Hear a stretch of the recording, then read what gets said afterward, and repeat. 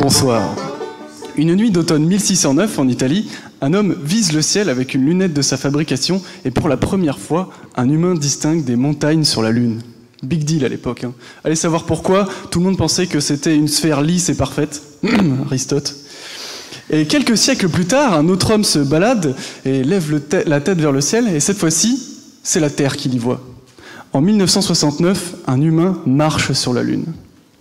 Un renversement de perspective aussi grand, à une échelle aussi courte, on pourrait se demander, mais qu'est-ce qui s'est passé de si radical La diffusion de la méthode scientifique? Et eh ouais, je vais vous parler de la méthode scientifique.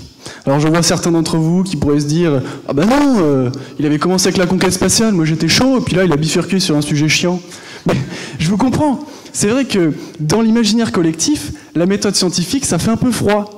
Quand j'étais plus jeune, je m'imaginais des gens en blouse blanche qui appliquent à la lettre un truc implacable. Et c'est exactement pour ça que ce soir, je vous invite à mettre de côté vos préjugés pour la voir avec un œil neuf. Alors qu'est-ce que c'est que cette recette magique? Eh bien, tout commence avec une idée.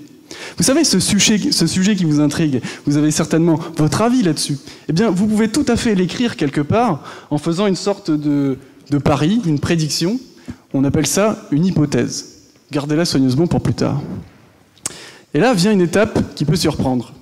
Vous n'allez pas essayer de montrer que votre prédiction est bonne, non, non, non, vous devez essayer de montrer qu'elle ne l'est pas. Pas intuitif ça, alors comment faire?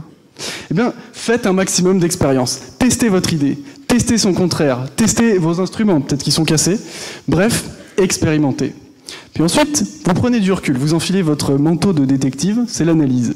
Il faut trier les indices, euh, recouper les pistes, puis jeter les faux témoignages. Et enfin, vous pouvez comparer votre prédiction, l'hypothèse, avec vos observations. Et là, c'est le meilleur moment. Soit votre intuition n'était pas bonne, mais vous avez appris quelque chose en passant, soit votre intuition était juste et votre idée tient la route. Pour le moment. Elle tient la route pour le moment, jusqu'à ce que vous ou quelqu'un d'autre y trouve une faille. Et elle est là, la recette magique qui nous a emmenés sur la Lune. Une méthode qui remet toujours en question ce qu'elle produit.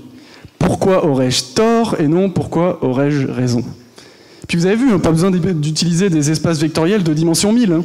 En dépit de son nom, la méthode scientifique n'est pas réservée aux scientifiques. Alors voilà avec quoi j'aimerais vous laisser. La méthode scientifique, c'est juste une manière de penser, une démarche de l'esprit. C'est un petit guide de l'aventurier pour y voir plus clair.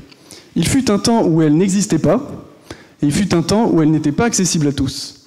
Mais aujourd'hui, ni l'un ni l'autre n'est vrai, et je pense que ça mérite autant notre émerveillement qu'un homme qui marche sur la Lune.